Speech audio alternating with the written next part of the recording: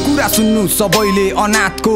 खोज्दैछु मस्तिष्क मलाई कसले बनाएको? सायद स्वार्थी थिए आमा बाउ मलाई जन्माएको। यस्तै कुरा सोच्दा सोच्दै मानसिक तनाव कठिन परिस्थिति जिन्दगी मैले जिएँ। याद हुने बेला म बाल आश्रममा थिएँ। जिन्दगी पिन्जिडामा म उडे निर्णय लिएँ। म सानै थिएँ म त्यहाँबाट भागिदिएँ छन् मेरो जिन्दगी भयो नगर न घाटको यताउता हेर्छु सबै अनौठो छ बाटो। घाँस बाँस कपासको अनि माएको अभाव भो कुन्जुनीको पाप अनि कसको लाग्यो? सराप यो कसलाई भन्नु पराई? म कसलाई भन्नु आफ्नो? यस्तै रहेछ जिन्दगी भर्यो दुःखले थाप्लो फाटेको लुगालाई। नराम्रो खाना पाई। सुनिदेऊ दाजु भाया किन हेला मानवलाई? साँच्ची भन्नु पर्दा आमा बस्नु मन थियो काखमा।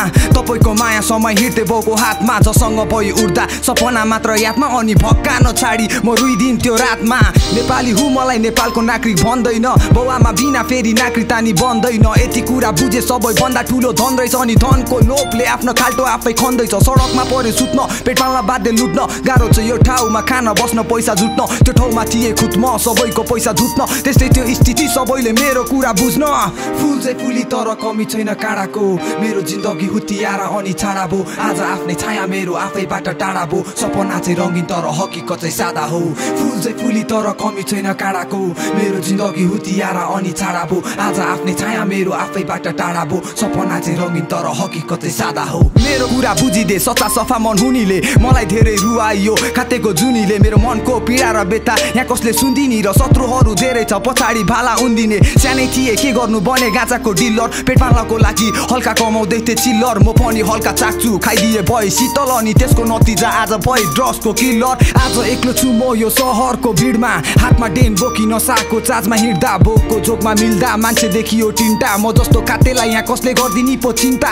भनिदिने कोही थिएन के सही हो के हो गलत। दुई हात जोडी माग्दा कसैले दिएन मतलब। जिन्दगी जिउनलाई अझै अझै धेरै बाँकी छ र भोलिको कुरा सोच्दा मेरो मन निकै आत्तिन्छ। खेल्दैछ मनमा थुप्रै प्रश्नको भण्डार खाते रोडमा सुत्छु छैन मेरो घरबार। बोकी आउँछु तरबार खबरदार। है सरकार म जस्तो चाहिँ रोडमा त जस्तोलाई किन दरबार? आकाशमाथि हेर्छु म आमालाई गर्छु प्रश्न के गल्ती गरे? दिएनौ न्यानो काखमा बस्न। जिन्दगी अघि बढ्छ तर कहिले हुने प्रष्ट र मलाई जस्तो अरूलाई नपरोस् दुःख कष्ट। तर्पिन्छ मन मेरो धड्किन्छ मुटु। निन्द्र लाग्दैन आमा म कसरी सुत्नु? चल्दैछ पाइला। तर थाहा छैन कहाँ पुग्छु र भगवान् माने ढुङ्गा रहेछ यति कुरा बुझ्नु। फुल चाहिँ फुली तर कमी छैन काँडाको।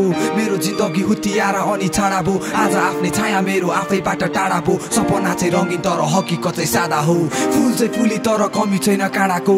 मेरो जिन्दगी हुतियाएर अनि छाडा भो। आज आफ्नै छाया मेरो आफैबाट टाढा भो। सपना चाहिँ रङ्गिन तर हकिकत चाहिँ सादा हो।